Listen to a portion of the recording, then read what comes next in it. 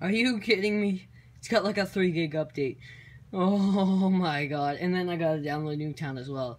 Jesus, guys, pray for me.